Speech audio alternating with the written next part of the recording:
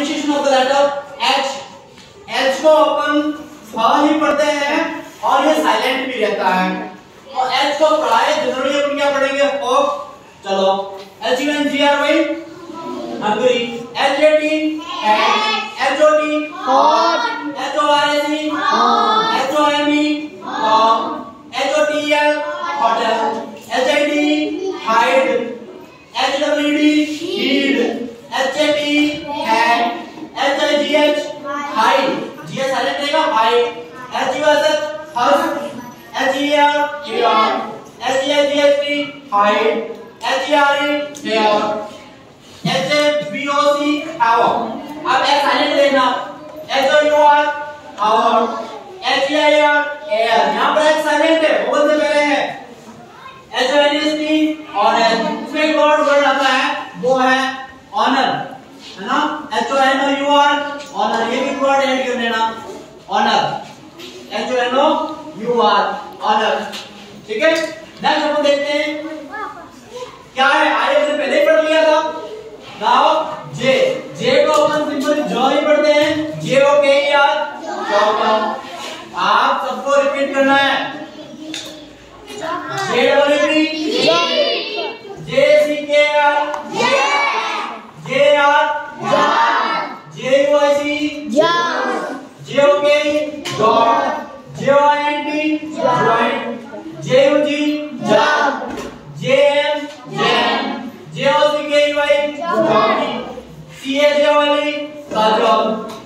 चलो हम पढ़ते पढ़ते हैं।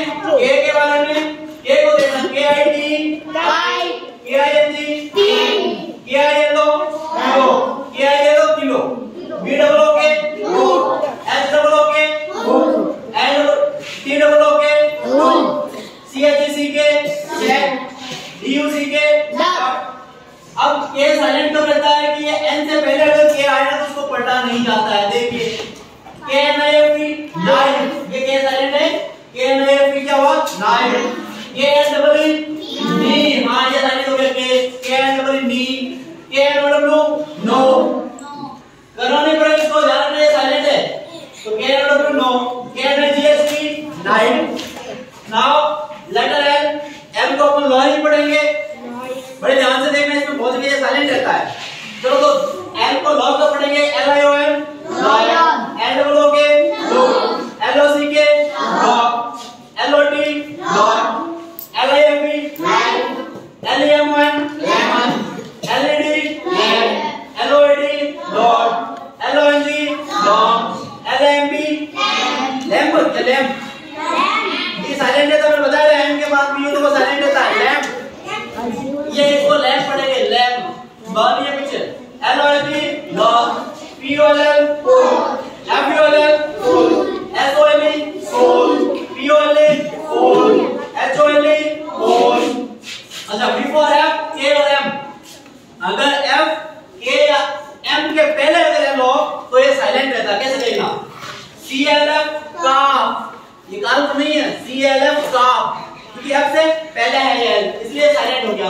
एच एल हाफ़ टी के है ना? ये talk W K walk C K chalk F K folk S H should D से पहले है ना तो कुछ वर्ड में S H O L D should C O U L D good W O U L D good अच्छा M से पहले देखना है P L calm B L calm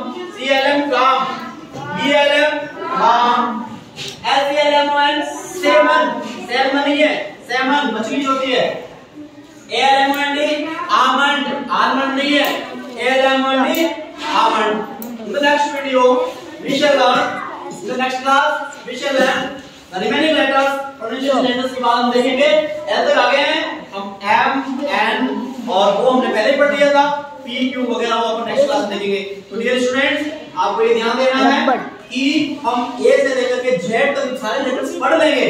तो हम परफेक्ट इंग्लिश पढ़ना सीख जाएँगे। Thank you